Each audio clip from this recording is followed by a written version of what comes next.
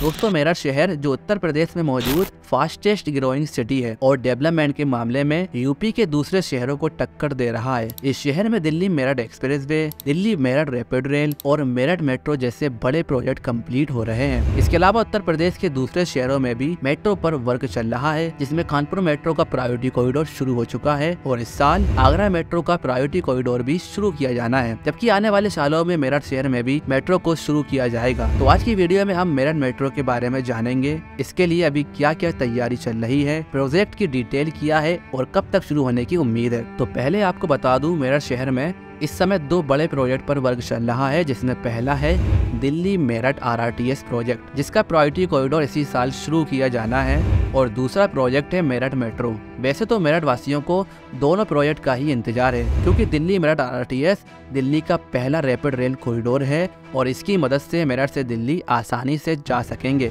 वहीं मेरठ वासियों को अगर मेरठ शहर में अच्छी कनेक्टिविटी चाहिए तो इसके लिए मेरठ मेट्रो बहुत ज़रूरी है। क्योंकि मेट्रो प्रोजेक्ट को किसी भी शहर की इंटरनल कनेक्टिविटी का बेस्ट ऑप्शन माना जाता है।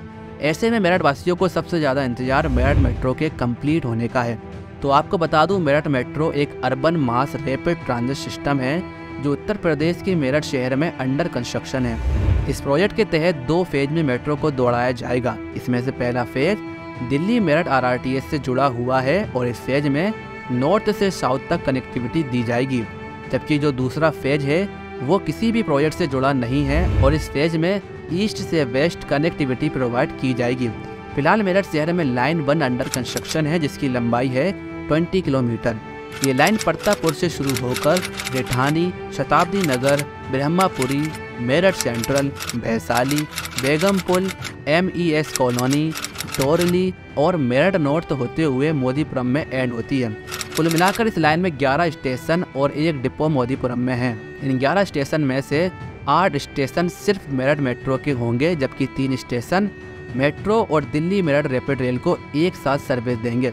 दोस्तों, यूँ तो लाइन वन की लंबाई 20 किलोमीटर है, लेकिन सवाल ये आता है कि लाइन वन किस टाइप की होगी। तो आपको बता दूँ, लाइन वन के 14.4 किलोमीटर का हिस्सा एलिवेटेड होगा, जबकि 5.6 किलोमीटर का हिस्सा अंडरग्राउंड ये लाइन फ़िलहाल अंडर कंस्ट्रक्शन है, जिसे यूपी एमआरसीएल नहीं, बल्कि एनसीआरटीसी द्वारा कंप्लीट किया जा रहा है। और इस लाइन को 2024 से 25 तक कंप्लीट कर लिया जाएगा। तो दोस्तों, मेरठ शहर में अभी 20 किलोमीटर की एक लाइन अंडर कंस्ट्रक्शन है, जबकि 15 किलोमीटर की लाइन टू प्रपोज है, जो ईस्ट से वेस्ट तक कनेक्टिविटी प्रोवाइड करेगी।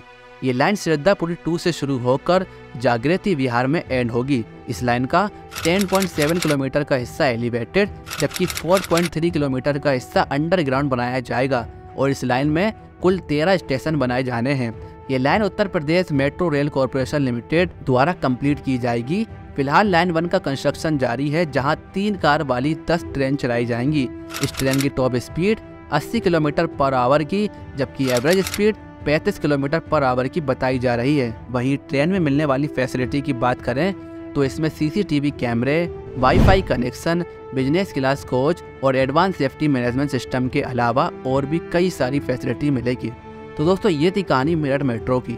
अगली वीडियो आप किस प्रोजेक्ट पर चाहते हैं, उसका नाम कमेंट्स में ज़रूर लिखें। और ऐसी वीडियो रेगुलर पाने के लिए चैनल को सब्सक्राइब करना ना भूलें।